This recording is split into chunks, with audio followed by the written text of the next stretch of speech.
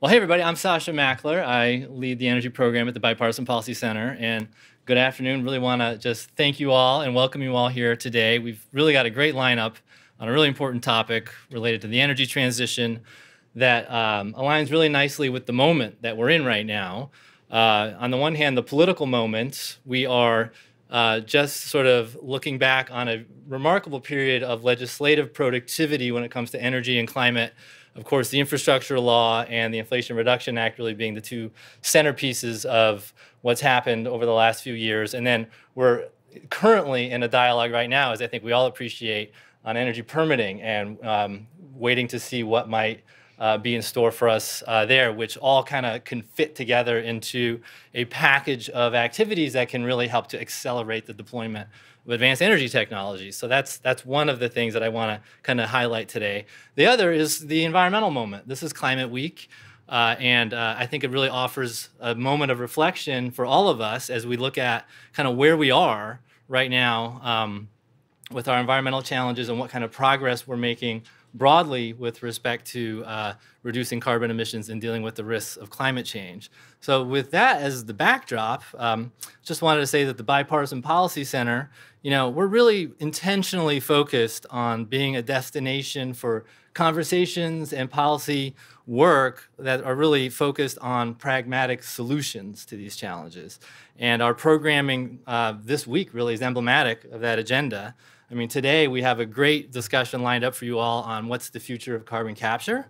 Uh, later on this week, on Thursday, I'll just say that we're doing an event in this room uh, with the chairman of the CFTC on what's the future of carbon markets and what's the federal role um, in, in being involved in carbon in the voluntary carbon markets to ensure their credibility and their ability to scale with integrity over time. And so that's in the morning.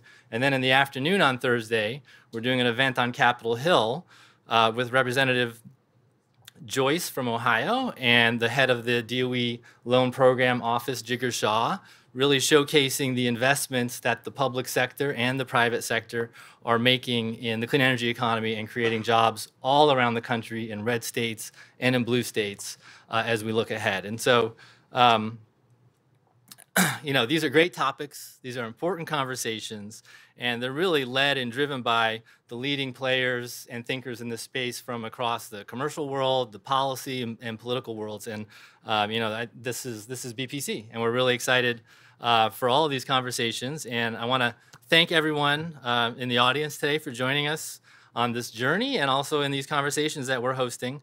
And I especially want to thank uh, our participants in the panel today for sharing their time and their perspectives as we unpack this issue uh, that's in store right now. What's the future of carbon capture?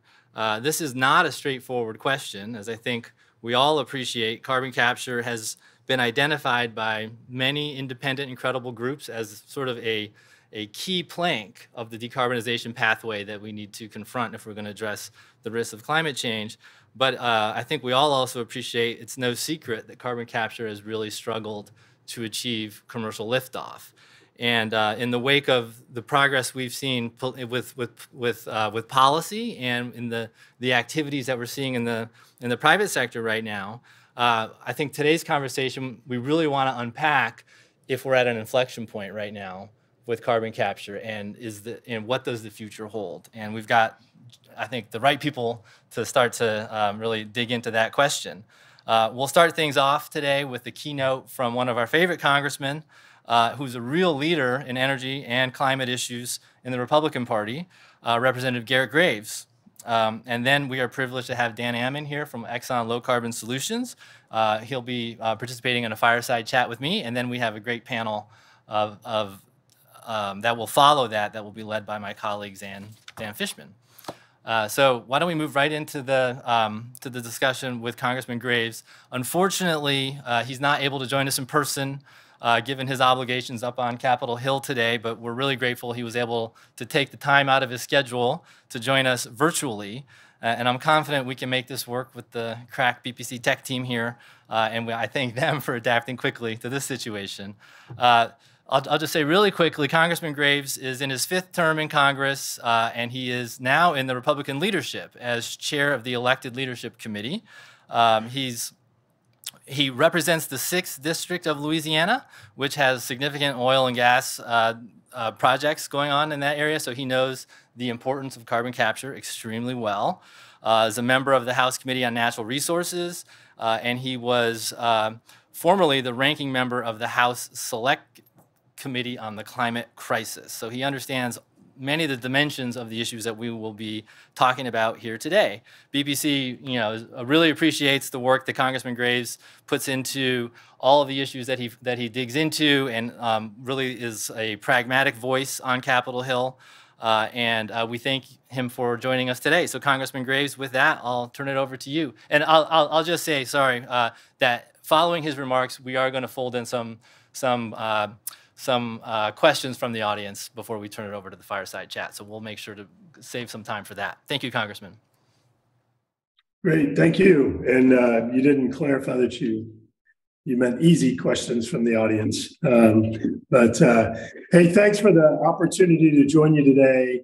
And and before I dive in on on carbon capture storage and challenges and opportunities, I wanted to talk a little bit about energy policy and where we are. Uh, we've watched over the last several years where there has been this really strong push to move us in a direction of lower emissions, of moving in a direction of renewable energy technologies. And I think what's most important is that we look at some of the progress or metrics over the last few years. And so, as we've watched, and I think there are three kind of important criteria that we apply in looking back at energy policy and accomplishments. Um, one of them is affordability of energy, uh, one of them is energy security, and the third one is emissions. And, and so, look, it doesn't matter where you are ideologically. And I'm not just saying this because we're with the BPC, I'm saying it because this is what's best for America. We've watched as energy prices, gasoline and, and utility prices have spiked 40% or more. We've watched as, as nearly 40% of America has had to choose among food, medicine, and groceries um, or their utility bills or energy costs. These are false choices. So I think it's fair to say on affordability, we're failing.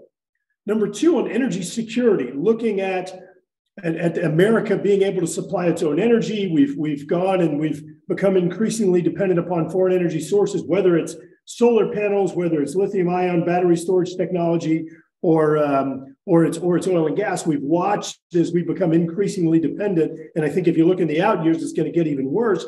And then the last one is emissions, and many of you may be surprised to hear this. But emissions have actually gone up over the past few years. They went up about 5.2, 5.5% um, between 2020 and 2021. They went up about another 1.3% between 2021 and uh, 2022. And so, so let me go back through. The, the, prices have gone up, so affordability, we've got challenges, we've got challenges in energy security, and we certainly have challenges on emissions. What you've seen driving a lot of the energy policy has been putting hydrocarbons, putting oil and gas on the bullseye, that, that we're going to get rid of these energy sources. And I think that that what we've got to do moving forward is instead of staying focused on energy sources, we've got to stay focused on emissions and carbon capture and storage is a key part of that strategy. Let me explain a little bit more. The Department of Energy's Energy Information Administration came out and, and released an energy projection. They call it an outlook, and they do it every year. Their latest outlook that was issued just a month, maybe a month and a half ago, found that, that the global demand for hydrocarbons for oil and gas is going to go up 50% over the next 27 or so years 50%. There are also various studies that show that some of the cleanest barrels of natural gas, excuse me, cleanest barrels of oil and some of the clean, cleanest cubic feet of natural gas are actually American energy products, and particularly that coming out of the Gulf of Mexico. So, so let's just align those two if you're going to have an increase in global demand for energy, including oil and gas, you're going to have um, uh, the, the, the, the energy sources in that category of oil and gas that have the lowest carbon intensity. Let's connect those dots and let's produce energy there. And then let's complement it with carbon capture storage. So, the real question that I'm supposed to be answering here is uh, is, is the sort of the, the challenges and opportunities associated with CCS. And so, look, opportunities back in the Tax Cut and Jobs Act in 2017, we implemented something called 45Q, section of the tax code that puts an incentive on carbon capture and storage. It provides a tax incentive that has been improved or enhanced since, including most recently in the uh, uh, Inflation Reduction Act that was done last year. Uh, it enhances or grows the, the tax incentive associated with carbon capture and storage, including direct air capture. Um, and so, so, so certainly, I think the economics are there to, to do carbon capture and storage. The next is the regulatory component. Just to give you an idea, and, and something we've worked with the BPC on for a number of years, is regulatory reform. Uh, the average road project today takes about seven years, seven years to go uh, through the, the National Environmental Policy Act or NEPA process, the environmental review process. Seven years. Okay, that's a road project. You have all sorts of other categories of projects, but it gives you some idea of how long this takes.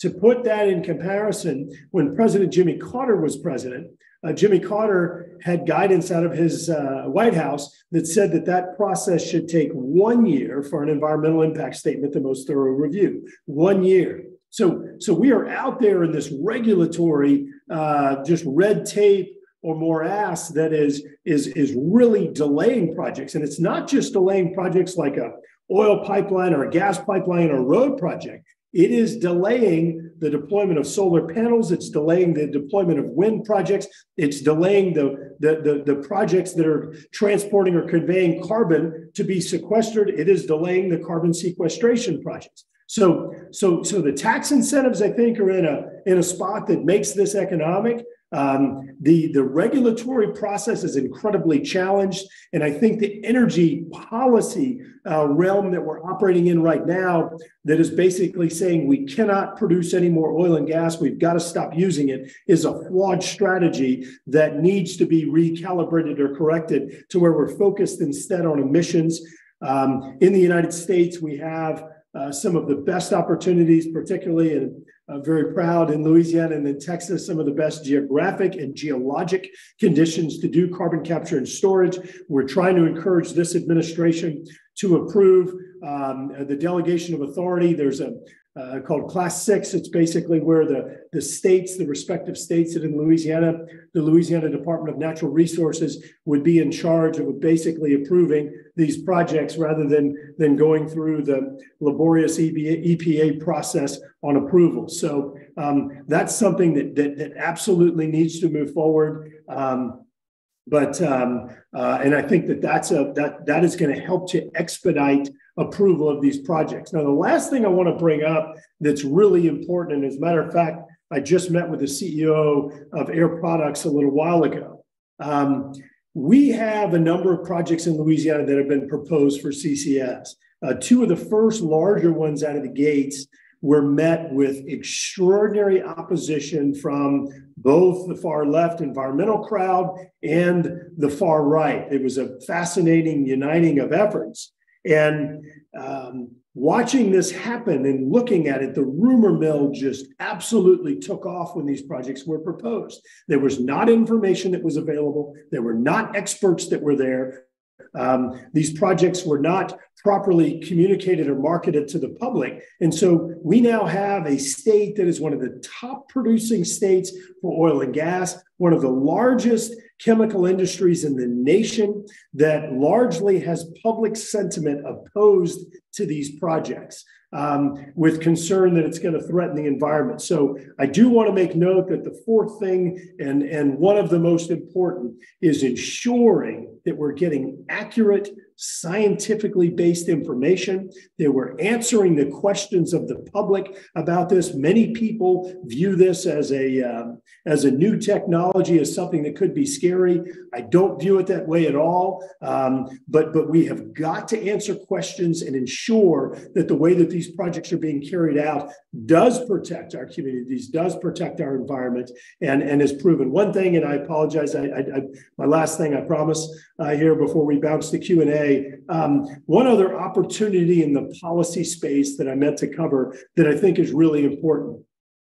Right now, carbon capture and storage, the 45Q incentives that are in the tax code, they are focused on anthropogenic sources or man-made sources of, of, of, CO2 that are often byproducts or um, as a result of, of, of industrial activities, um, in addition to direct air capture. I think that we're missing an opportunity uh, to also incentivize biogenic or natural solutions. For example, uh, planting trees. Um, we are sitting here watching as we're coming out, and we're going to be spending, in some cases, $100,000 a ton to sequester emissions with some of these newer technologies that folks are looking at.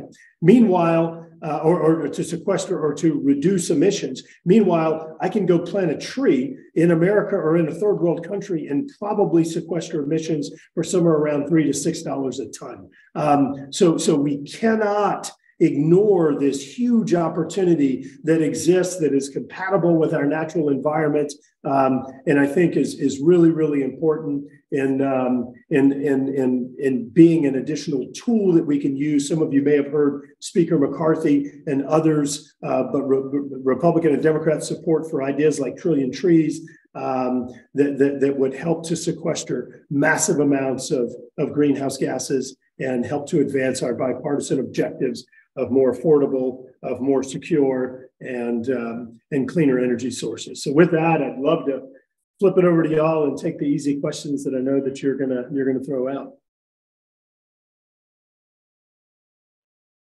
And there's a lot I think that we can unpack there in what you just uh, talked through. Um, so what I would like to do is invite those of you that are online to, if you have any questions, you can submit them in the, in, in, in the chat function um, as on, on the YouTube channel. And then we can also open up here uh, to folks in the audience to ask questions. Please wait for the microphone uh, if you do have a question because that's how the congressman will hear you and will be able to respond. And maybe while you're formulating your questions, I can take the moderator's prerogative and ask the first one um, to get things rolling. This is an easy one, I hope.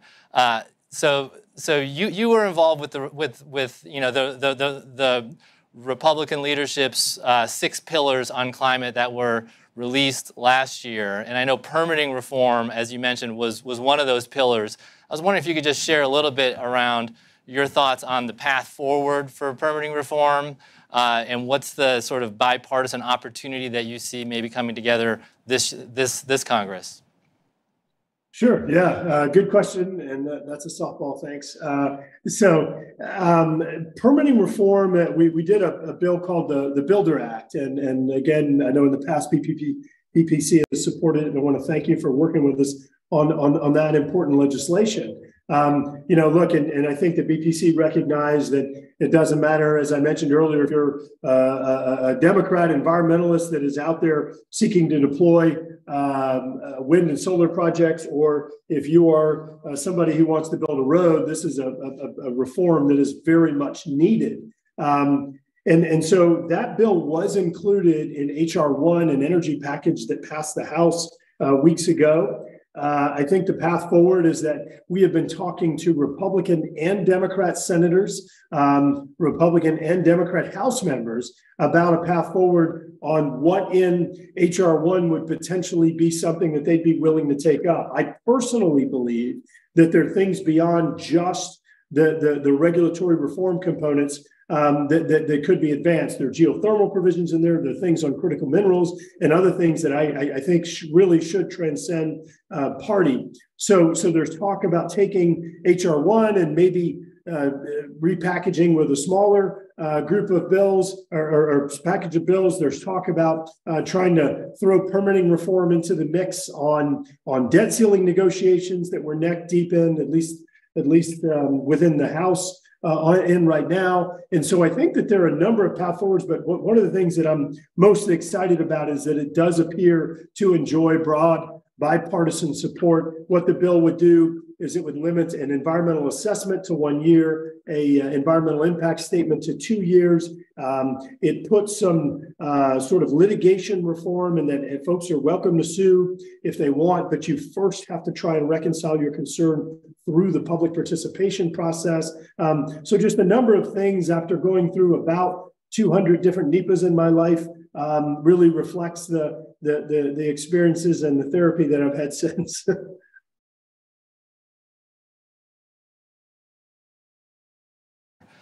You know, putting in on, on, on, on this issue. Uh, I'd like to open it up for the audience. If there are any questions, please, please jump in. We have a few minutes with the congressman. Hi, I don't actually know where the camera is. Um, I'm a Syria Hadreen. I'm a reporter with S&P Global. Um, I wanted to ask about you're talking about nature-based carbon removal. Would you support uh, like a 45Q like credit for say planting trees, and how would you, if so, how would you ensure that the the carbon is actually removed?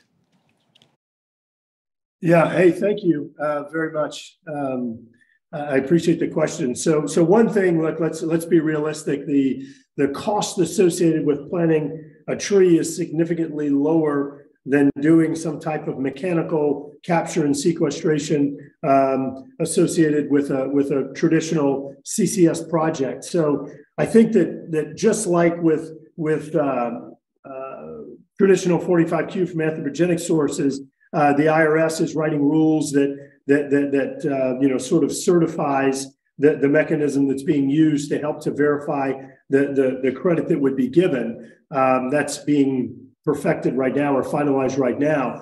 So I think that, that what you would do, and you could go back and look at things that have been done in the past. They used to do things called CDMs, clean development mechanisms, that was basically a certification process for the approach that you were using. So you could do things like, for example, we do under wetlands mitigation right now, where you say um, in this type of environment with this type of species, um, you are granted this many credits over this period of time. And so, um, you know, you come in and say, okay, if you plant you know this many trees and this habitat with this type of climate um, then we're going to give you this many credits over the next 20 30 40 years. And so um, i think that there is already very mature science on those metrics but you would just have to uh, do the biogenic uh, you would have to modify law, provide the biogenic incentive, and then um, and then go through your rulemaking process. But I'm confident that the that the science or the uh, sort of integrity um, of the of the credits is is really mature at this point, and I think that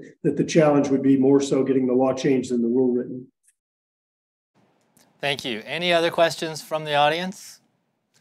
Yeah, Mike. And if I could ask you, if you stand up, then the camera can catch you so the congressman can see uh, where the question is coming from. Uh, uh, Mike Moore, USCA, and uh, Congressman, quick question. When will Louisiana get its primacy for its class six? so, so as you know, uh, look, as you know, this is something that has been uh, been going on for way too long. Um, we had a number of conversations with Region Six, um, and finally, we're able to help dislodge uh, the application from Region 6 up to headquarters. We've spoken with headquarters a good bit as well. And um, here, here's my, my estimate right now. I think that they end up releasing it probably sometime uh, in May or June. I think that it ends up going through the full process, and we're probably looking at final approval sometime in December or January. Um, so that's my that's my guesstimate. I, I, think you have two states right now that have primacy on on Class Six. Um, so we're not um, doing anything new or novel. They have other states that are already already there. Um, it's been very frustrating about how long this has taken. And I also want to make note that something that's really important to me, as I'm sure it is you, is ensuring that, that if we go to a delegation authority or a primacy here, um, that, that the entity that is then uh, primary, that, that they have superior expertise. And I think if you look at the at the um, capacity of the state of Louisiana, they have substantially more expertise and capacity than the EPA does at this point. So I think that the public would be better served and that you'd get better scientific integrity, more capacity, and uh, hopefully help to address this this information gap that we've seen in Louisiana projects so far. Thanks, Congressman. Yeah, we have, we'll take one more from the floor, and then I have one from online, and then we'll have to wrap this up. Hey, Congressman, thanks for your remarks. Um, Sean Todd, Fox Potomac Resources. Quick question about nuclear power. Uh, not sure, I, I came in a little late, I'm sure I heard you talk about the role of civilian commercial nuclear power, but do you think that has a role, role to play? I'm sure you do, but what type of role? How can we move it forward, and specifically in the Congress? Thank you. Yeah, so I actually didn't talk about nuclear, but I appreciate the, appreciate the prompting. So, you know, I talked earlier about how I think we've got to stop putting a bullseye on energy sources and instead try and stay focused on emission reduction strategies while keeping in mind things like affordability and, um, and, and energy security. And in fact, with the task force that, that we worked on that, that was mentioned earlier, we really looked at things like reliability, affordability, cleanliness. We looked about we looked at exportability of the technologies, and we looked at security of the supply chain. Kind of those five things guiding us. And so I think that for nuclear, you look at things like Diablo Canyon in California, where they were shutting down the nuclear power plant, only to then send a letter from their, their cardboard or whatever saying that they wanted to increase emissions because they were going to backfill it with uh, with natural gas or coal or some other type of, of energy source. And you're like, wait a minute, what is going on here? You're shutting down nuclear emissions-free power and replacing it with with um, uh, sources that had greater emissions. And so here we have the state of California attempting to be a global leader in energy and, and climate change issues, yet that they're moving in the wrong direction. Um, Germany is another perfect example, seven, nine, whatever it is, nuclear power plants, they're shutting down once again, uh, backfilling that with, with other sources. And we've even watched right here in the United States that we saw last year. I believe it was a nearly 15% increase in coal utilization as a result of, of not properly preparing for for um, uh, for the electricity demand. So how does that play into nuclear? Again, 19% of electricity in the United States today comes from nuclear power. It is all emissions free. Those projects, as you know, those power plants, they have a, a licensing life cycle. So that's going to have an expiration. What are we going to do? Are we going to relicense? Are we going to update the technology? Um, and I think there are two primary things that need to happen. Next gen nuclear is one for some of the larger footprints, the larger facilities. We've got to continue making progress on that technology and on the licensing process. I think that the Nuclear Regulatory Commission process is way too slow. It's, it's set up for a 1970s era type technology. Some of the newer technologies are safer. We should be able to move faster. And secondly, and very importantly, is SMR, small modular reactors, really exciting excited about the potential of that technology. We've got some amazing innovators in the United States that are moving forward. Uh, the Nuclear Regulatory Commission has pre-approved a design for a, an SMR reactor. Um, and the, the, the, first of all, you, you, you actually have an opportunity to recycle some of the spent fuel rods. So you're addressing a waste issue, much, much lower risk. And so again, NRC, Nuclear Regulatory Commission, should have an expedited or streamlined approval process and the ability to come plop these things in very quickly with modular construction uh, gives you the ability to power entire cities um, uh, in, in a very short time with a new emissions-free source. Uh, lastly, you're looking at France, you're looking at Russia, you're looking at China, all trying to advance new nuclear technologies. This is an area where the United States has historically led, and I think that we've got to continue leading the world with the technology, both on, on industrial scale as well as on the SMRs. Well, thanks, Congressman. I, I know I promised one question from online, but I think uh, in the interest of time, we're going to have to end it there. I want to respect your time and the, and the time of the rest of the program. Uh, so um, want to just thank you again for taking the time to join us today. We really appreciate all the work you're doing up on the Hill, and we wish you the best. Uh, hey, in, thank in you. Good seeing you. Take care. Thank you. Uh, and now I'd like to invite uh, Dan Ammann to come on up and join me here uh, on the podium, and we'll kick off the next part of our program. Um, Dan is the president of Exxon's uh, low carbon solutions business, a position he's held for about a year uh, where, and where he leads the whole, all the efforts within the company to build a scalable business around decarbonized energy, which of course includes carbon capture. Uh, and I have to say, he's had a really interesting career that I want to talk through with him, uh, where he has come from being uh, executive in the automotive and the finance sectors. Um, and I'll, I'll, just say that Dan spent about a decade on the leadership team at GM, where he was CFO and then president uh, before taking the helm of Cruise, its autonomous vehicle company, in 2018 as its CEO. And before that, Dan spent about a decade as an investment banker, mainly as a managing director with Morgan Stanley. Um, and through the low carbon solutions business, Dan and his team are focused on making the path to net zero economically viable and executable at scale, uh, with several, I think, really interesting um, announced projects underway, and it sounds like there's a whole lot more in the pipeline, which we're going to talk about. But Dan, welcome to the BPC. Great, uh, great to be here. thrilled, thrilled to have you here. Uh, we've got a lot of ground to cover in the next sort of 25, 30 minutes. Um, and the way I thought we could approach this discussion was maybe starting a little bit with your personal story and how you found your way to, to uh, low carbon solutions at Exxon. Um, and then make, maybe transition into what's Exxon doing in low carbon solutions and how you see the opportunity before maybe finishing with some broader reflections on where where's the industry and where's the sector headed. Sure. Uh, so with that in mind, um, you know, really interested to hear what's going on within with, with, within the firm. Uh, let's start with kind of how you found your way to Exxon. How, how did a finance guy turn out to, to, to, to, go to automotive and then, and then into, into the oil industry? Well, it goes back a step further than that. I actually grew up on a dairy farm in New Zealand, so that was the beginning. I um, uh, moved to the United States uh, when I was about 25 years old in the uh, late 90s, mid, mid late 90s. Uh, got a job on Wall Street through sort of a series of uh, sort of random events. Uh, and what I uh, did on Wall Street for Morgan Stanley primarily uh, was I worked a lot on big complicated transactions, big restructurings, corporate breakups, big mergers, and I've always been drawn to the the off the run problem or the big complicated problem, and that's a thread that's gone through uh, everything that I've done uh, since then. And uh, as the financial crisis unfolded in 2008 and 2009, uh, I got involved in the restructuring of the automotive industry that went on uh, during that time and was the main financial advisor to General Motors as it went through its uh, restructuring and, and reorganization.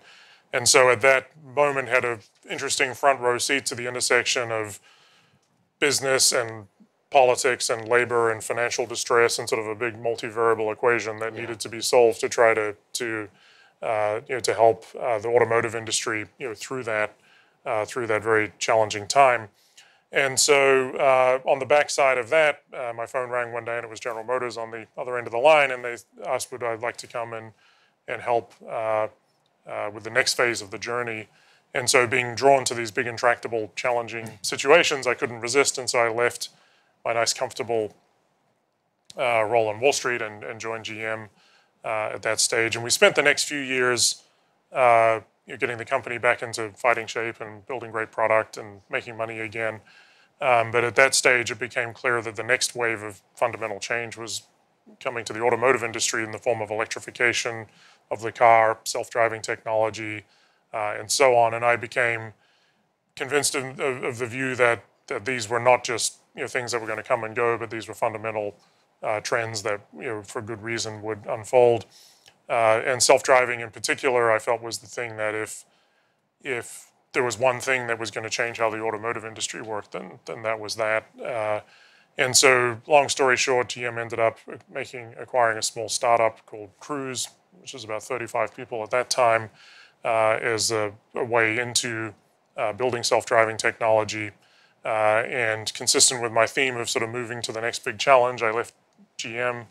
I was president of GM, left and joined Cruise as CEO uh, uh, to advance that, you know, through the next uh, stage of development to the point where we, at the end of 2021, you know, sent a self-driving car out on its own out onto the streets of San Francisco. So, yeah. um, and so you know, having made progress through that, uh, the question then was, what was the next big challenge?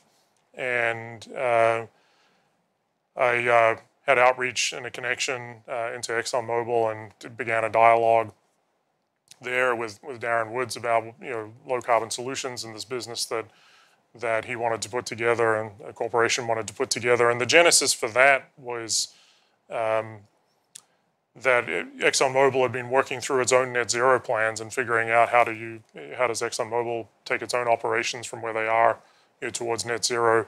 And as they worked through that exercise, you know, came to the point of view that there was a lot of inherent capabilities inside of ExxonMobil that not only could be used to decarbonize ExxonMobil's operations, but also to uh, to help third-party companies decarbonize uh, decarbonize theirs. And so one of the things that that was missed that's missed a little bit, I think, in the general sort of public discourse here is that if you look at the source of uh, greenhouse gas emissions globally, energy energy related greenhouse gas emissions, it's about 35 billion tons a year, uh, metric tons a year, give or take. Of that, about 80% comes from a combination of heavy industry, power generation, and commercial transportation. And if going back to the automotive industry, light vehicle transportation accounts for somewhere in the 11 or 12 percent you know, range. And, and so it's really important that the automotive industry decarbonizes, but it's you know, multiple times more important uh, that we figure out how to decarbonize you know, a lot of these you know, heavy industry uh, processes. And so that's where the capabilities of, of ExxonMobil really come in, uh, and that's what we're focused on. And we've got, as you mentioned, a lot of projects uh, you know, underway and up and running that I'm sure we'll talk about here in a minute. So the, the thread that runs through all of that is, you know, uh, I've always been drawn to these really huge challenges. And if you were to make a list of the most existential challenges facing humankind right now, I think most people would put the energy transition and climate change at the top of that list. Uh, and if you were to make a list in my mind of the of the corporations that have the ability to actually help bend the curve uh, on the world's path to net zero, then I think ExxonMobil's at the top of that list, and that's why I'm here. That's why you're there. No, that, that's that's a great backdrop. Thank you for that, and that's it's a great segue in, into where I, I, I think we should go next, which is in energy circles. Um, you know, your your company is really seen as the iconic company. Um, you know, sophisticated, really deep engineering expertise, and it has a reputation for building projects that are delivered at scale and on time. And in policy circles, uh, you know, when, when we think about um, you know, the role that Exxon plays in energy policy, it's really focused on the energy side of, of the policy equation, less on the climate side. And so uh, it turned some heads, I think, a year or so more ago when you announced the formation of the Low Carbon Solutions business. Um, and I just wondered if you could, as we as we sort of start to hear a little bit more about the business model, how did that come to be, uh, and and uh, what do you see as sort of the, the near-term business opportunity for the for the solutions business? Well, we're trying to do two things at once. We're trying to help accelerate the world's path to net zero, and we're trying to build a compelling new business for the corporation. And those two things, from, from our point of view, go hand in hand. And the fundamental principle underlying that is that the energy transition won't happen if it can't be made to be economically viable. Right. If we can't bring the cost of abatement down, if we can't create uh, the right you know, policy in the first place and then have the market step in over time you know, to pick this up, then we're not going to solve this, you know, this enormous challenge. And so we've been very focused on, it was interesting to me coming into this into the energy transition space, I my perception from the outside was that there was this tremendous amount of activity going on, and there was all of these announcements and press releases and MOUs and partnerships and things. And I was like, man, we're going to have to like really get going here because there's a lot up. happening, a lot, a lot to catch up. The fact of the matter is, like, very little has happened in the in the sense of real definitive agreements for real projects and, and real steel on the ground. And so one of the things that we've been very focused on from you know from the, the minute I got here was to we had the sense that it's very important that we demonstrate that there are projects that work with today's technology, today's policy, today's infrastructure, and that we need to get those projects implemented and up and running. And that that in and of itself will have you know help create a positive flywheel effect. And I think, you know, when to your point, when ExxonMobil says we're going to do something, there's a presumption, and it's a correct presumption that a lot of thought and work has gone into, you know, coming to a point of view that this can work and should work and will be executed. And so that's why we've stepped in and said, you know, we need to lead the way with demonstrating that these projects you know, really can work. You know, it's interesting that the project that we announced with CF Industries uh, last October uh, to capture 2 million tons a year of CO2 emissions out of their uh, Donaldsonville, Louisiana facility. It's a fertilizer plant. Fertilizer plant, ammonia production plant for fertilizer. Um, that, as far as we can tell, that is the first very large scale third party definitive CO2 offtake agreement that's ever been done. Hmm. And so to think about sort of, you know, here we are talking about CCS and what's the future, and in some ways it hasn't even really started yet in that sense. Like there's been a lot, you know, we have done ExxonMobil, you know, captured a lot of CO2 over the years in our own operations and have experience in doing that. But when you step back and look at, you know, where is this, and you said this in your opening comments, where is this really working today? You know, it's, it's still early stages, and that's why we feel it is the right time to step in and, and sign up and contract these projects, you know, with third-party customers, get them into execution, show that they work, show that you can earn a return uh, doing these projects. Uh, and we think that that demonstration step here is, is really important. Yeah, no, it's it's it's really interesting way to sort of think about the business, and we, we we have a similar view at the BPC when we think about policy. That the best way to kind of continue the policy momentum uh, that we've made so far is to show that the policies that have been implemented are successful and they work, and that's how you build momentum for the next set of policies because we know we're not done. And we'll talk a little bit about that going forward. So the commercial kind of uh, parallel you just described, sort of get the initial projects out there, get them moving, build that flywheel. I, I, you know, I think that's really how we have to think about on all of these issues as as as, as we look ahead and build build momentum.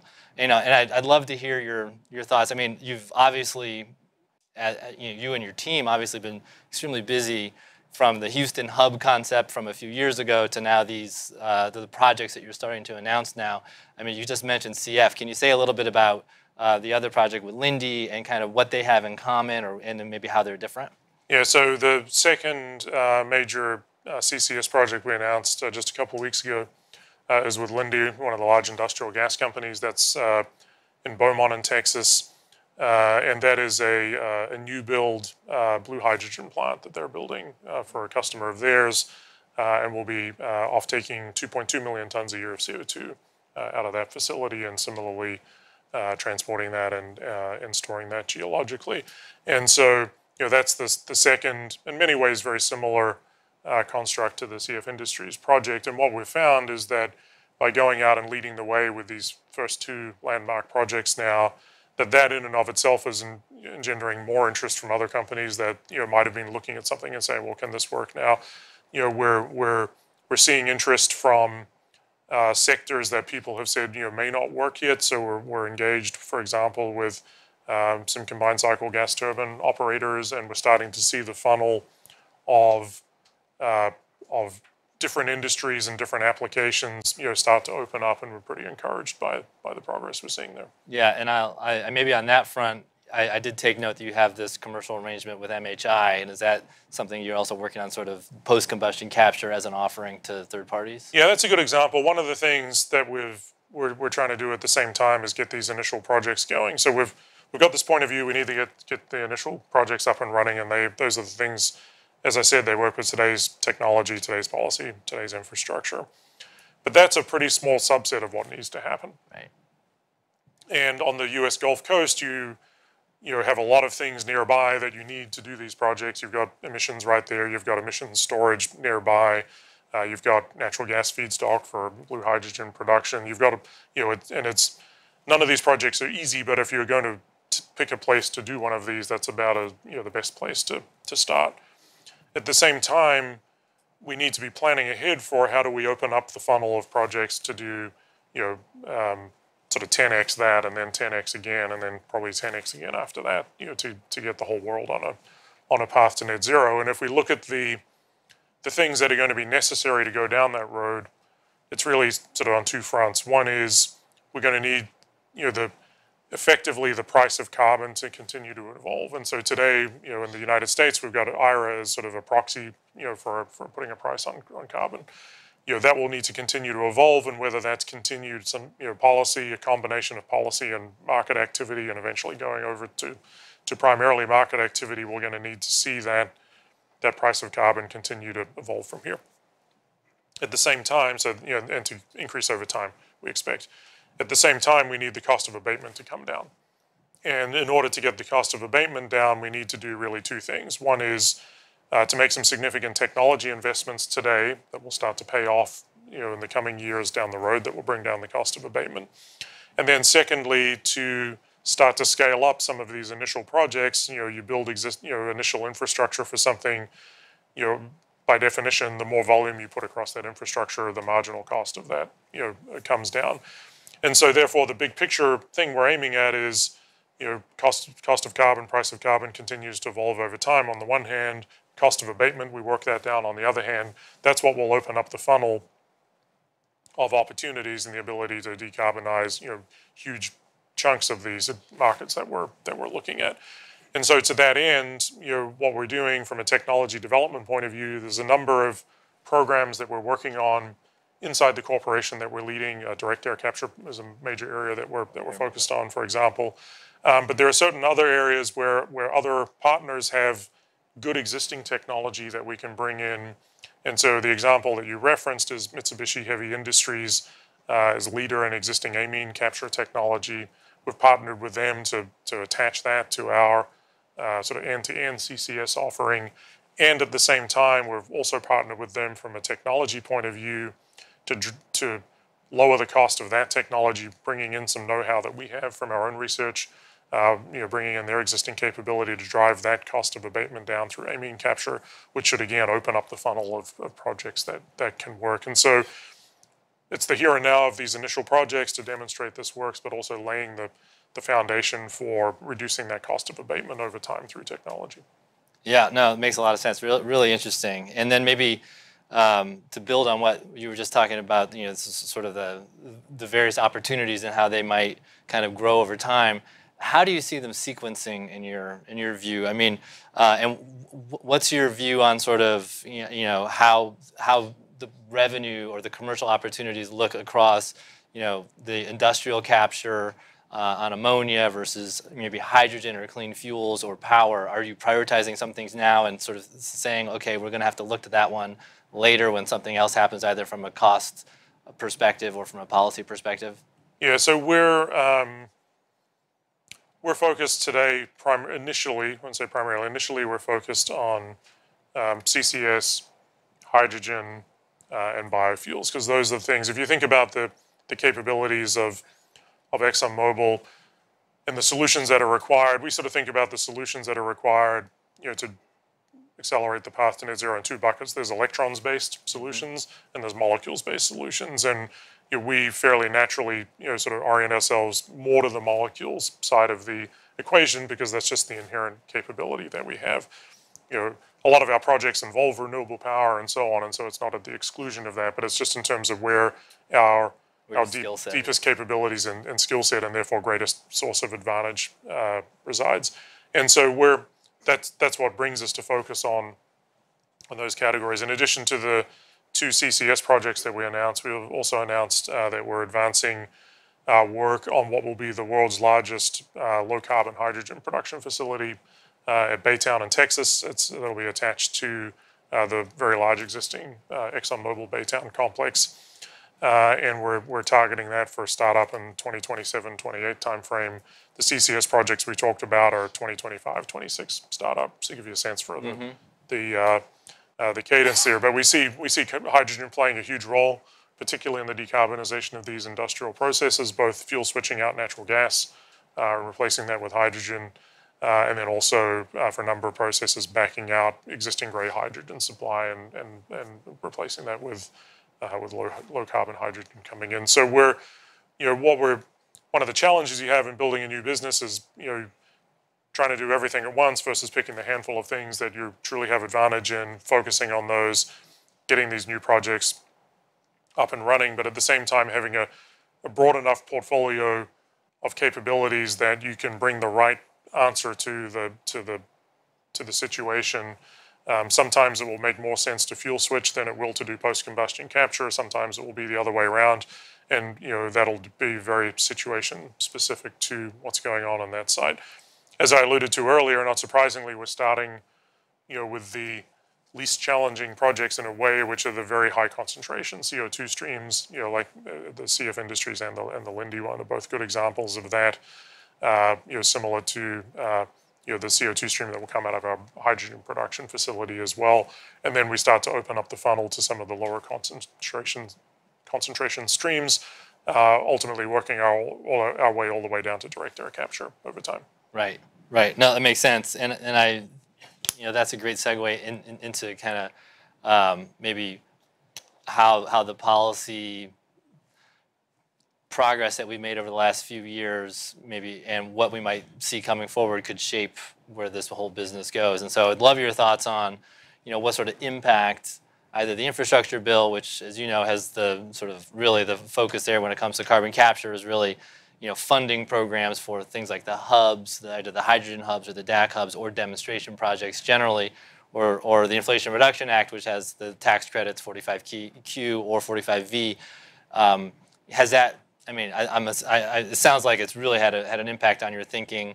Um, would love to get a little bit more of a sense from you. Is you know, has that really been the catalyst for some of these projects, or um, you know, what are the economics looking like, sort of with what we have today, before we turn to kind of um, you know where things might go? I mean, because um, I appreciate that you need to compete for capital within ExxonMobil. So I mean, how, how, how do the returns sort of compare, and, and do you feel like you're well positioned?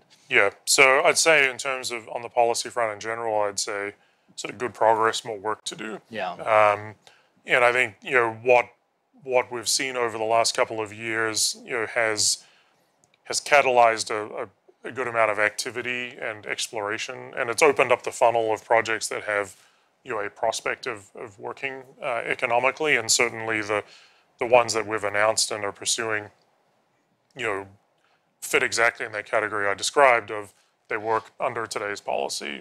Um, you can earn a return under that uh, under that policy, um, and you know they work with, as I said, with today's technology, and that's why we're you know we're moving ahead with those.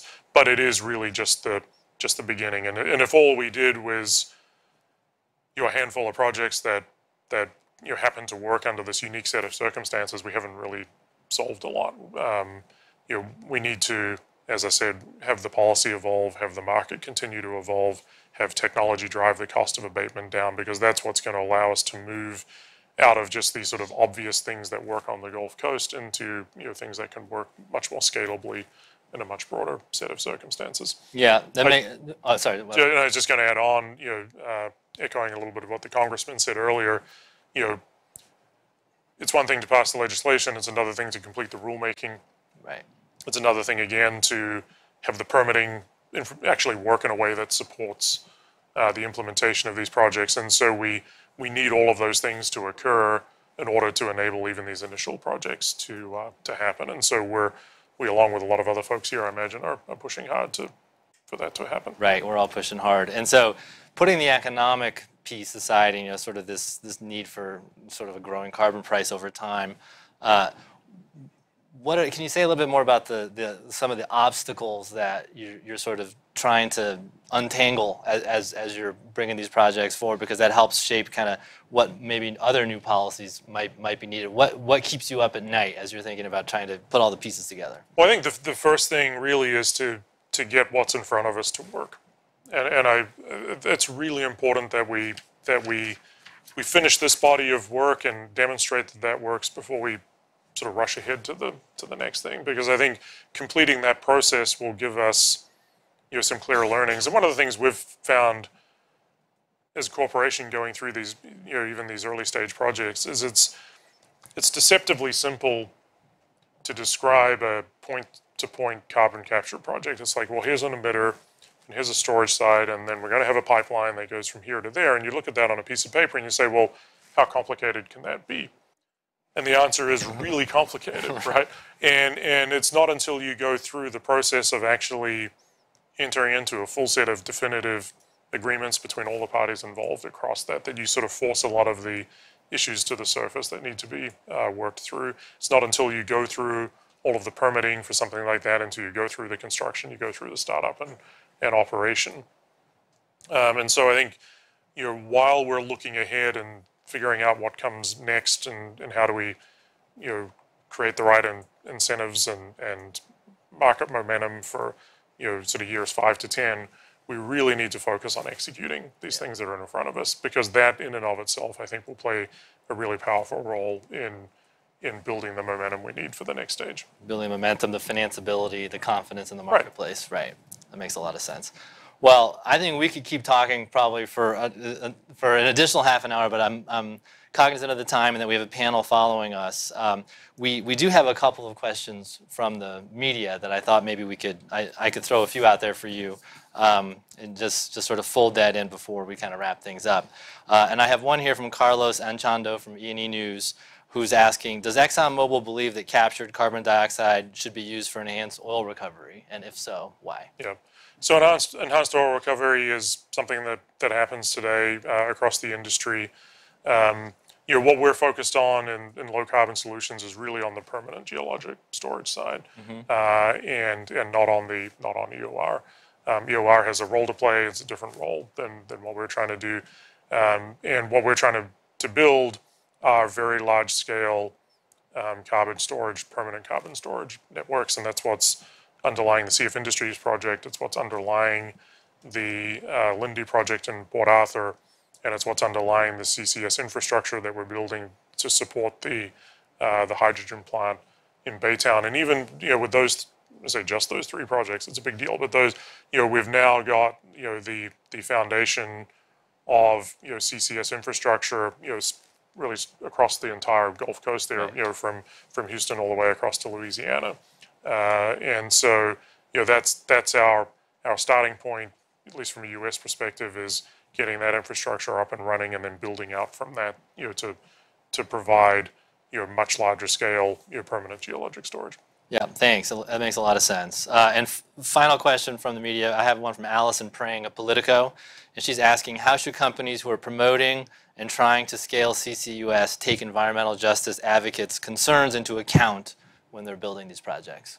Yeah, it's a great question. I think the you know one of the and it feeds back into this perspective of we need these initial projects to work. And when we say we need them to work, we need them to also work for the communities that you know the projects are, are happening in. And so, you know, all along the Gulf Coast, we have these huge sources of emissions, and so obviously addressing those emissions in the in the communities is is a great starting point. But we we need to go further than that. We need to also make sure that we're you know addressing, and this came up in the congressman's comments as well, you know, concerns of of of folks in those areas, explaining what it is you know that we're doing. You know, why does this benefit uh, their communities? You know, how does this help you know the you know the person in the street you know that that might be concerned about this? And so to give a couple examples in the in this in the project in Louisiana, um, we're very engaged with the local communities, you know, all the way sort of along the the uh, the span of that project uh, uh, across that part of the state. Um, you know, we've been engaged, for example, with you know the first responders. You know that you know if they have to respond to a situation, and having our safety folks engaged with them and, and helping you know helping them uh, develop an understanding of what we're doing. Uh, we've been engaged with uh, with Ducks Unlimited, an organization where we're you know helping restore 900 acres of, of marshland. Um, you know that the community's uh, being focused on there, and so it's having these you know, direct community engagement, both in terms of explaining what we're doing, how it benefits them, how it benefits society more generally, but really focused on the the very you know direct impact to the community. Uh, obviously, you know there's jobs and employment that come with these projects. Right. Uh, and that's a big opportunity as well. Right. Great. Thanks.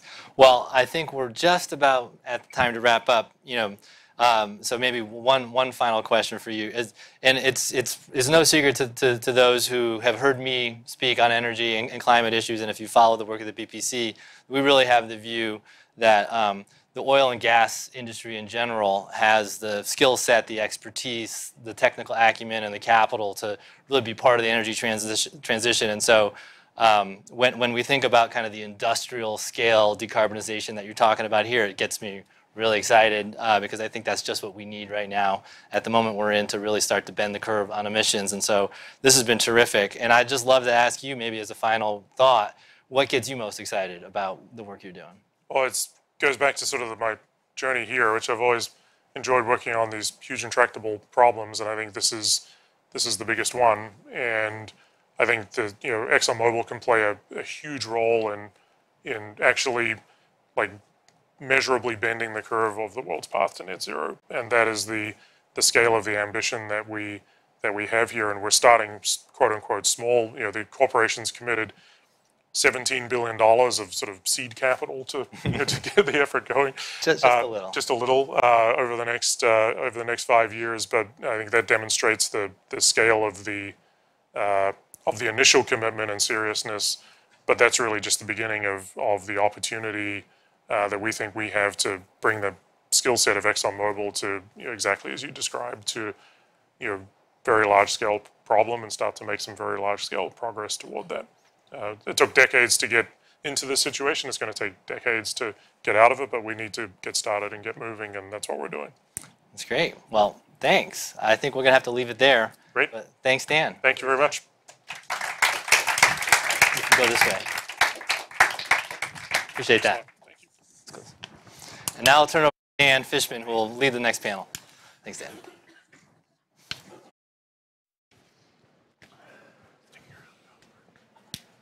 All right, panelists, come on, come on up. I assume.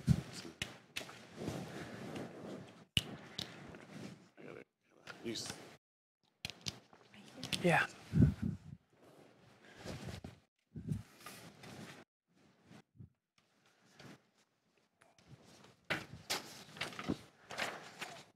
All right. Well, great so far. Man, Congressman Graves had a lot to say. Um, we talked about permitting, talked about community engagement, talked about policy. Um, Dan really talked about the business model. Uh, now we've got here an expert panel um, representing uh, a coalition, representing state government, representing the private sector, uh, and we're going to try to get a little deeper. That's the goal here. So uh, first off, we've got uh, Brett Logue. He's the CEO at Elysian. 25 years of experience in energy and technology, working on all aspects of project development, legal, financial, and operations, including over a decade working on carbon capture and storage projects. He served for 10 years as an investment banker at Grandview Capital, and prior to that, as an attorney, uh, focused on energy and project finance. Uh, got a bachelor's in JD from Stanford. Jessie Stolark, on the end, executive director of the Carbon Capture Coalition. She's been with the coalition since 2019. Um, before that, she uh, managed a carbon capture and industrial decarb portfolio at Third Way. Uh, she's got a master's degree in applied geosciences from the University of Pennsylvania and a bachelor's from Bryn Mawr College. In the middle, Jason Lanclos, director of the State Energy Office at the Louisiana Department of Natural Resources. Uh, he's been with uh, the LDNR since 2018. Uh, prior to that, he worked on Coastal Protection and Restoration Authority in the governor's office. Uh, with 13 years of private sector experience uh, before that. Uh, he's on the executive board of the uh, National Association of State Energy Officials and holds a degree in civil and environmental engineering from Louisiana State University. So, Jessie, let's start with you. You are the executive director for the Carbon Capture Coalition. What is the Carbon Co- Capture Coalition? Who is in it? What, what, what is this thing? Sure. Thanks, Dan, and thanks to the Bipartisan Policy Center for having having us here today. So the Carbon Capture Coalition is a nonpartisan partisan collaboration of more than 100 uh, organizations all working in common cause to enable economy-wide deployment. And so our membership is incredibly diverse, both uh, sectorally diverse as well as politically diverse, and it includes industry, nonprofit, and labor organizations. And so uh, that really makes the coalition unique. We are kind of, I think, a unique, bring a unique perspective to the energy and climate discussion here in Washington, D.C. And then the other thing that makes the coalition really unique is that we work on a consensus basis. So all of the positions and work that we do um, as a coalition is informed by the consensus positions of our membership. Terrific. Uh, Jason, you're here from the from the state perspective, Louisiana, and you know you're you're part of the Association of Energy Officials. You've got experience with carbon capture and storage. How are you thinking at a state level of your general decarbonization pathway, your energy goals? How does this all fit in uh, with your state goals? Sure. Uh, great question. So uh, I, had the pleasure of going to a Carbon Capture Coalition meeting in 2018. Met Jessie and the team, and I had worked on uh, some on the coastal side. Worked on something called the Verifiable Carbon Standard, with more on the ecological side. Something that Congressman Graves, who was uh, a part of that agency many years ago, referenced. And so introduction to carbon there, and really what, what Jessie just described was was really what I saw. You know, a large group of individuals working on decarbonization. We took a lot of those tools and lessons from that coalition and brought them back to Louisiana. Uh, really, and met with the governor and started uh, what, what we are very proud of, which is a climate plan in Louisiana. It's go, the first Gulf Coast state, I think, that has done a climate plan that brought a very, very diverse, diverse group of stakeholders together. Had a, a lot of conversations about how we look at Louisiana. Louisiana is a very complicated state in very many ways. Our emission profile, specifically, we're a very, very uh, difficult to decarbonize state. So a lot of industry, a lot of manufacturing. We, we ship products all over the world. So we have a very mixed CO2 stream and a very, you know, average 2 million metric tons of CO2 per year, so or 200. So um, we have working very, very strategically to look at, you know, commercially viable solutions. And what, what we've very quickly realized, and, and what I think our policies realized, is that it's not a one size fits all, right? It's going to take a very comprehensive approach to, to make these things work. CCUS has been one of the most, um, what I would call prolific solutions that we've seen unprecedented response. Um, and, and, what I, you know, 2018, there were very few companies who were looking at it just because the costs were, were just astronomical. And, and, and I really, to see what has happened over the last four or five years in terms of incentives, in terms of folks and groups working together, like the BPC and others, to support, you know, enhancing 45Q, it's brought companies to the table that we weren't talking to four years ago. So that's extremely exciting. Um, we, we think that we're on the front lines of, of climate change. You know, Louisiana change, I could talk about that for hours. You know, we, we, are changing dramatically. We have a coastal state that's lost a, a, state the size of Delaware in terms of land loss. You know, so these are things that are very, very front and center in folks' minds. Community benefits in terms of looking at how the state starts to transition. It's, it's an inflection point now that we really have to get right. So we want to do things that we, we set the right policies so that solutions that are, we're working on really are going to be available and really be something that are impactful and are around for a long period of time. So that's a, a, really brief introduction in terms of what we do at the Department of Natural Resources. But the climate plan is something that we're, extremely proud of, and I think that you know as we're, we're starting to work towards solutions and implement those things, that's where we're, we're going to make progress. Terrific. You, you mentioned community benefits there, and, and Congressman Graves also uh, focused on that a little bit too. We're, we're going to we're to come back to that. Um, but one of the things you said is that you're trying to set the table for businesses to come in and invest. Brett, you are the CEO at Elysian. Could you just give us a, a flavor for what is what is your business model? And you know, the bipartisan infrastructure law passed, Inflation Reduction Act passed how do you see the business opportunity? What's the business environment right now for in the, the carbon capture and storage space? Sure. And uh, thanks uh, again to the bipartisan policy for uh, in, inviting us here. Um, so Elysian is a uh, dedicated uh, end-to-end CCS developer. Dedicated meaning all we do is work on CCS. End-to-end, we cover capture, transport, and storage. And developer means we're primarily interested in building projects.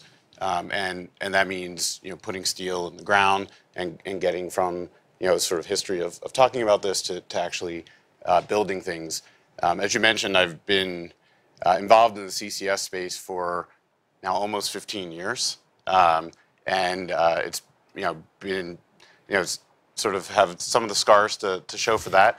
Um, but it, you know, this is a very exciting time uh, to be a developer, to be focused on projects in part because of these you know, recent um, uh, uh, legislative uh, improvements.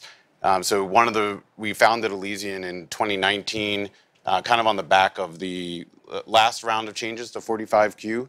Um, and we were focused at that point on some you know, higher concentration sources, ethanol, um, ammonia, fertilizer type plants. But with you know, the modifications from the bipartisan um, uh, uh, the BIF, Bipartisan Infrastructure um, uh, Bill, and then also with um, the IRA, you know, we've really begun to you know turn our attention you know to some of the lower concentration um, sources, and, and we you know we have completed a feed on post-combustion capture on a natural gas combined cycle uh, plant. Um, we've also um, filed and gotten administratively complete on our first uh, Class 6 application. And, and so we've been you know, trying to move forward um, projects to, to ultimately um, get you know, capture done at scale. Terrific.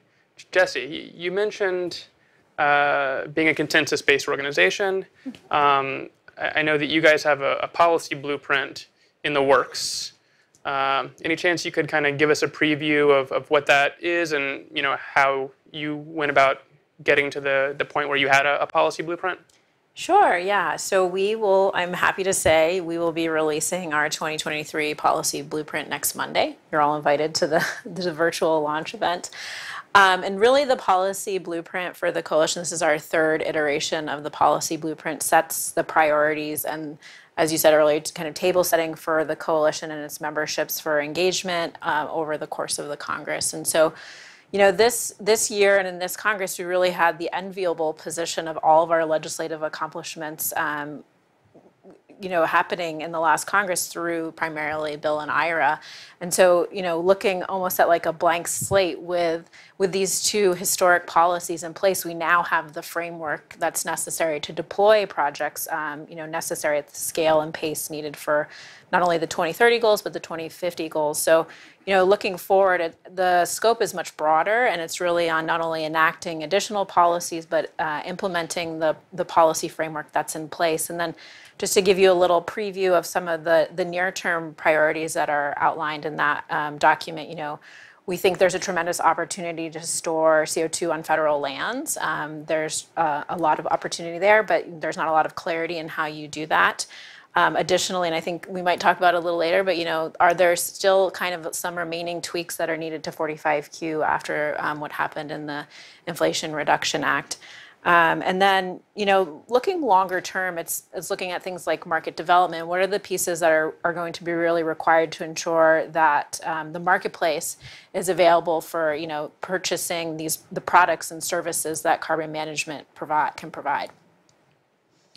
You mentioned my friends Bill and Ira, and um, you know, as as good friends as they've been to me personally and the entire carbon capture community. Um, I, I, do think that there are still some uh, some challenges in the community. Um, particularly, uh, one of them I think is, is permitting. We've we've uh, talked about it several times. Um, you know, Congressman Graves talked about his his leadership in the House with the Builder Act. Um, we've talked a little bit about Class VI wells.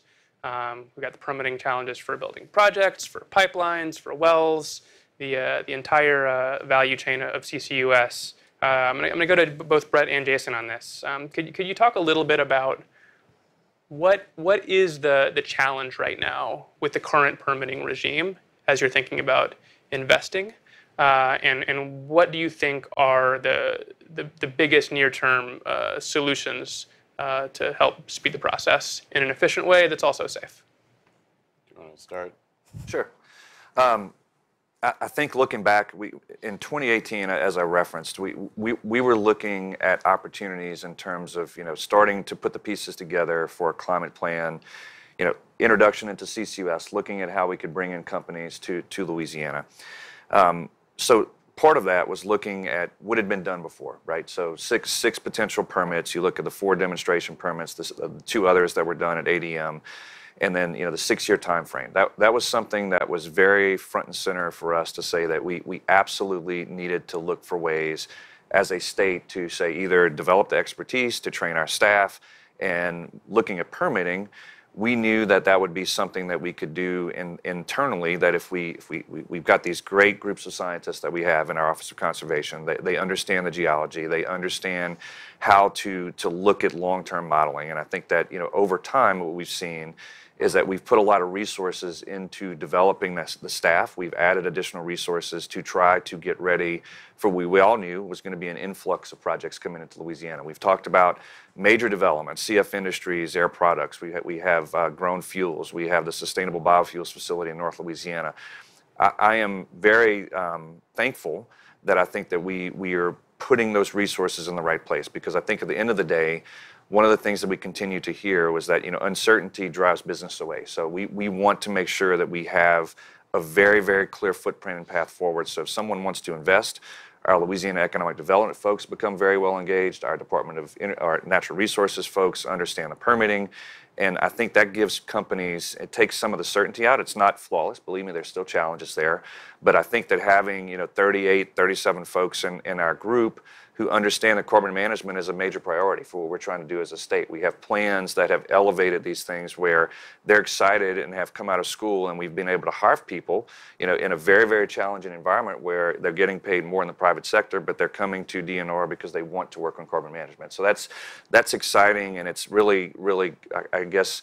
Uh, memorialized our plans and saying that you know focusing on permitting is going to be very important. So I think that for us, that's been a big challenge is to, to recruit the right folks, but also to make that a priority. So the other things that we'll talk about later, I'm sure, are you know just just really going out and Congressman Graves referenced that, you know, ensuring that the public has a very clear understanding that you know our state cannot, we, we can educate and inform. We can't go out and say, hey, this is the right thing to do because of this.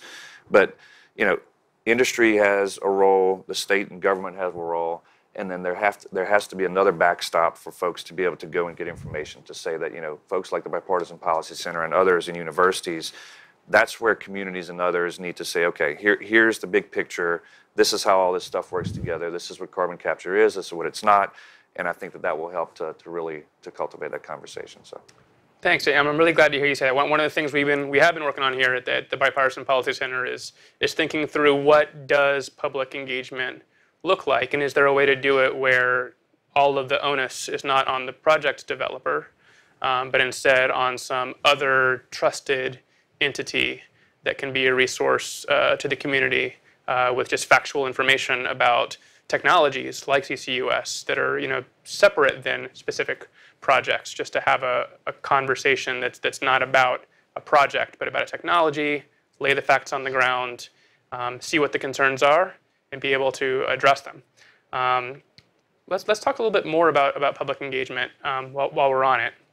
You know, I, I think um, uh, Congressman Graves talked about this also, and I think maybe maybe Dan too. But you know, there's there's an element of not just of uh, you know addressing public concerns, but also providing benefit to the local community.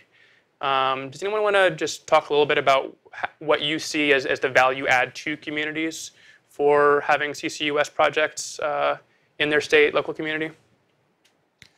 Well, I mean, I think there are both, you know, local, regional, and global benefits to these projects. I mean, I think that's one of the attractive parts about it. So I, and I think that's part of, you know, the pitch um, to the communities as as well, uh, because I, I do think that you know there are concerns um, for for various reasons. You know, uh, some having to do with you know historical incidents ar- around you know transport, um, there's a lot of uncertainty around storage. You know, the, the idea of capture is is somewhat new, and, and so you, know, and and I think a lot of the communities where the emitters are based have his, historically been disadvantaged, and the, the location of those projects has partially been due to the fact that they were economically disadvantaged, and it was advantageous to put those you know resources there. But these projects, you know, they're going to you know clean up um, emissions, you know, related to some of those existing facilities. Um, they're going to develop, you know, local um, jobs that will be sort of beneficial to um, the local communities because there are, you know, both construction jobs as well as long-term um, uh, employment associated with operating um, the the capture, transport, and and storage facilities. And then there's really the the global impact of having carbon reduction, you know, associated with these projects, where oftentimes it's it's a global benefit with local um, impacts as well in terms of the kind of mitigation, you know, that might be otherwise necessary for climate impacts that you know we are now addressing by you know doing these capture projects. Thanks, Jason. Um, you know, you you um, you mentioned before about um, when we were talking about air quality associated with having a carbon capture project uh, added onto an existing industrial facility. Could you could you get a little bit deeper on the on the air quality sure. issue? Sure, uh, and and and maybe uh, I'll, I'll, focus just a little bit more and, and, and go a little bit further with those comments. I, I think that for for us as a state, you know, we, we with a complicated emission profile that I mentioned earlier, a fifth of the nation's refining capacity we have seen, and, and, when I worked in private practice, one of the things that, that, that I remember very vividly is, you know, a lot of the times when we go into communities and do environmental assessments, you know, you, you had a may, major, maybe a paper mill or another major source of revenue that had been there for 40 or 50 years. When that mill closes, the, the devastation to the town and to the surrounding community is, is, is very dramatic. And seeing that and, and seeing the role that industry plays, seeing the role that the state plays, seeing what we've, we're facing with climate change, and seeing that communities need to be put front and center, all those things I think come together with a lot of these solutions. And, and with carbon capture, what was always so compelling when we looked at this as a solution is part of it, part of the overall solution of installing carbon capture equipment, even amine based equipment. Obviously, there are advances that are capturing 98, 99% of carbon dioxide. You are removing priority pollutants from the air. So in, in the communities that we have heavy industry, and the communities where we have advanced manufacturing, this can be done and actually improve air quality. And I think that that's a, a, win at the end of the day that, you know, that you're doing an improvement to air quality in those communities. The other thing is, is that you're protect, protecting the financial impacts of what you have for the schools and businesses and those surrounding communities. And, and so jobs is another major factor to this in terms of being able to have an educational component for kids who want to major and go into these fields to say, how do we go into advanced manufacturing? How do I go into hydrogen? How, what, what, do I have to major in to major in carbon management? And the thing that's so exciting is that uh, some of our local universities, and I'll use LSU as an example, and that's not a bias, but it, they, they, were very, they were very proactive in terms of saying that, hey, look, carbon management is going to be a big deal. So what can we do?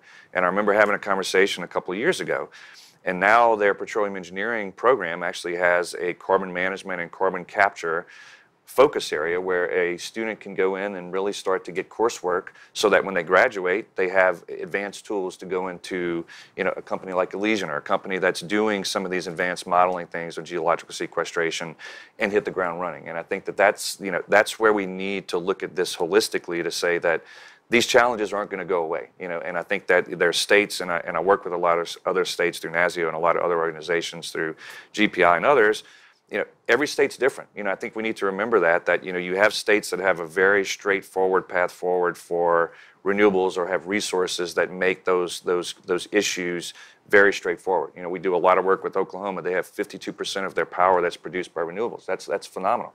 Louisiana cannot get there as soon as they did. We don't have the wind resource. We don't have all these others. So every solution that we're trying to move forward, whether it's looking at methane monitoring on our orphan wells or, or how we're looking at you know, long-term profiles and incorporating hydrogen into our industrial applications, all those things can work together, I think, to really help communities to get better. And I think that at the end of the day, that educational component, you know, we hear, we, we saw this on solar where, you know, a local police jury association or a local council they, they were desperate for answers in, in terms of, you know, wh- what do we do? How, you know, is there a model ordinance? How, how do we face this new industry with solar?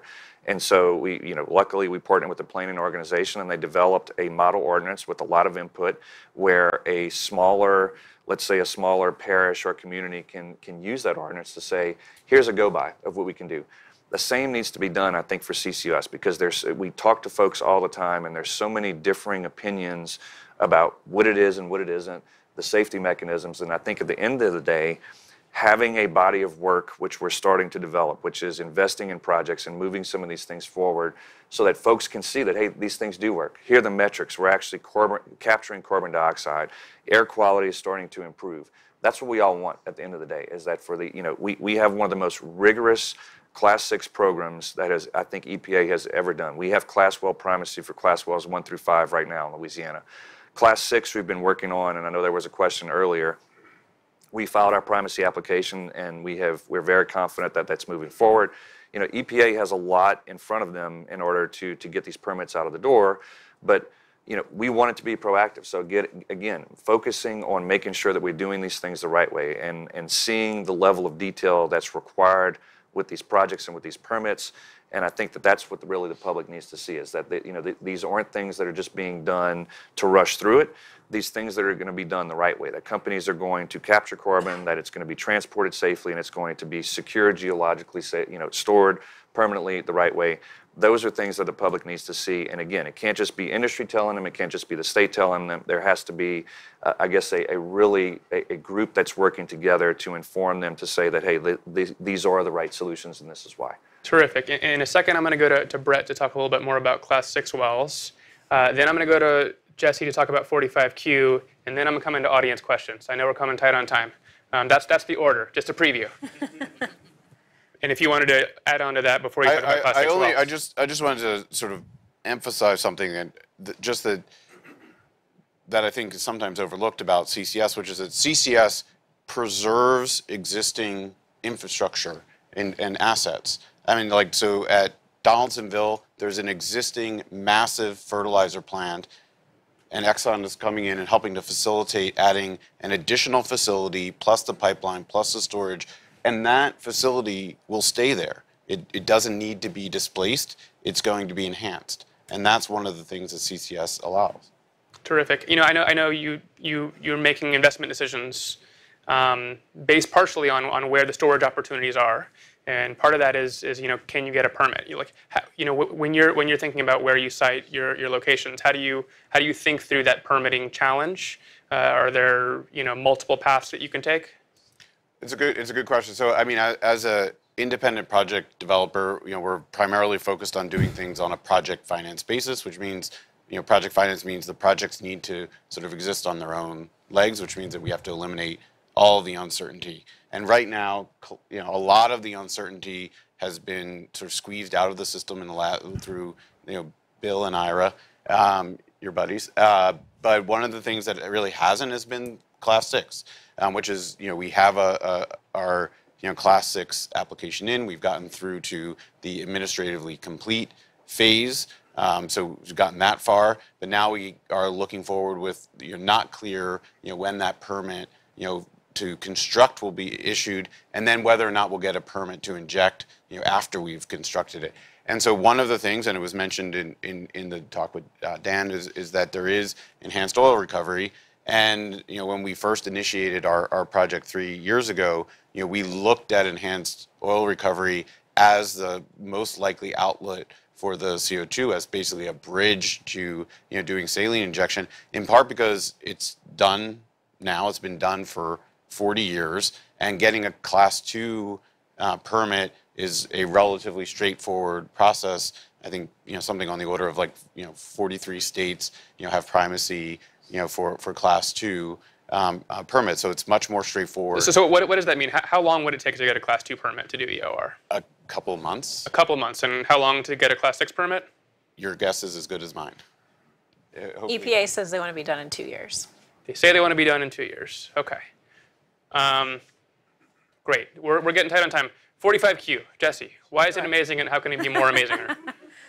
so in 45Q, of course, we had the restructuring of 45Q and the 2018 Future Act, which really expanded the eligibility of the program to direct air capture to heavy industry. And then, of course, we had what happened in IRA, um, which increased the credit values. It also provided the direct pay provisions as well as transferability. Um, it lowered the, the thresholds that you need to, to be able to claim the credit. And so what we tell people is like on 45Q, the cake is largely baked, right? So now we're looking forward to working with Treasury and IRS to make sure that they promulgate final regulations for 45Q, but project developers, you know, can still move forward with the existing regulations. Um, and then looking forward on 45Q, you know, and I kind of teed up earlier, just, you know, there are additional things that didn't happen in IRA that we'd like to see.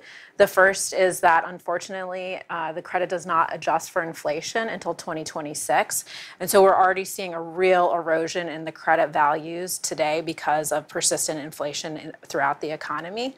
Uh, the second is we would like to see um, parity between the carbon reuse credit level and uh, saline sequestration. You know, uh, carbon reuse for products and useful things like concrete or fuels or chemicals um, you know, they don't have the market, the established markets like enhanced oil recovery do. And, and so currently the, the CO2 reuse credit level is paired with the enhanced oil recovery.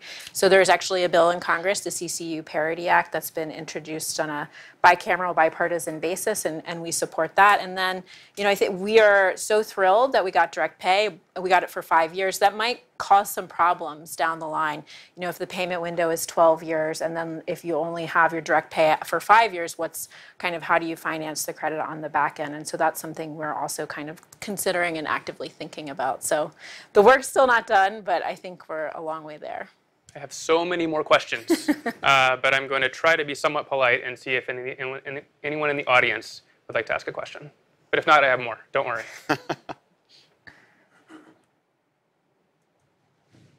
and if, if anyone online has YouTube chat comments, let me know.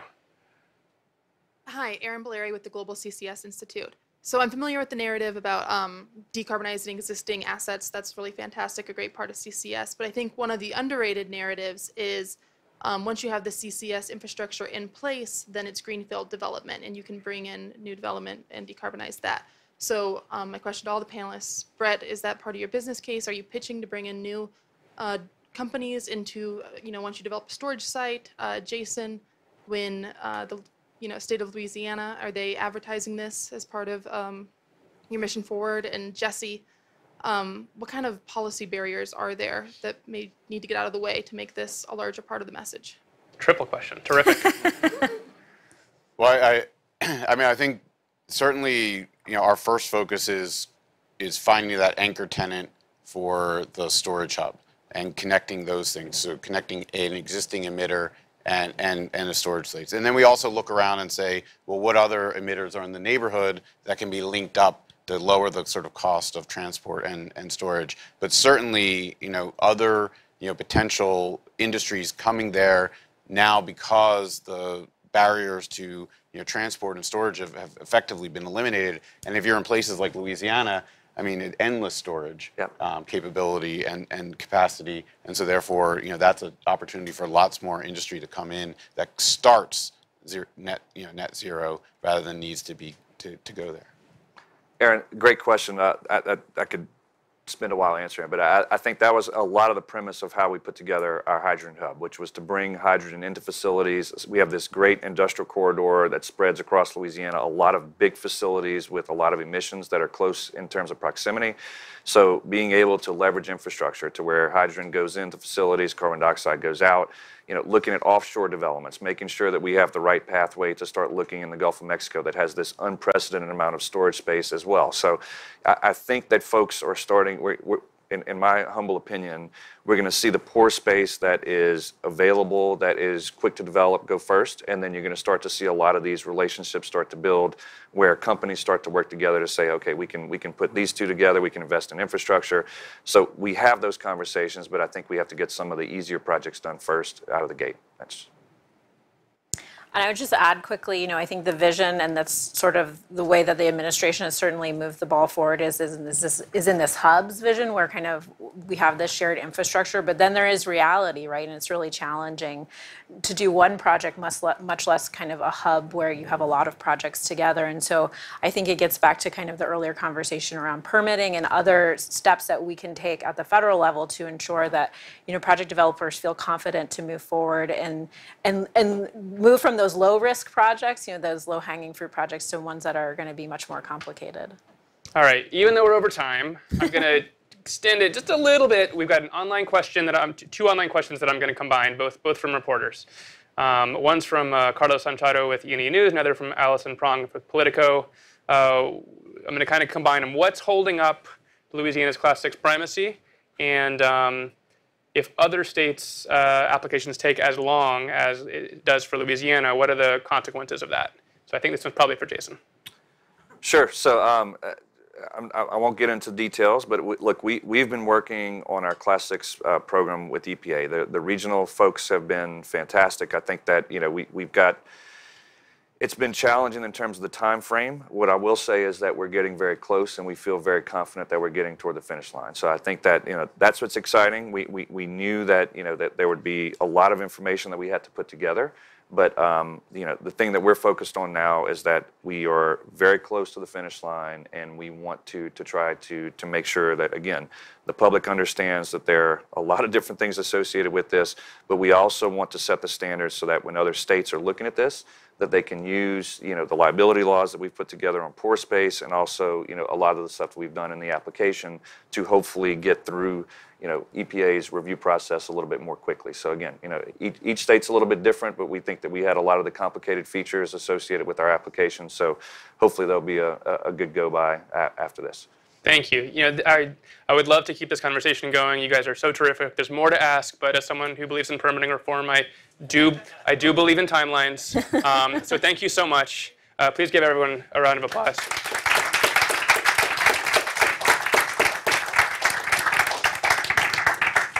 And we have a reception right uh, this way. Please stick around.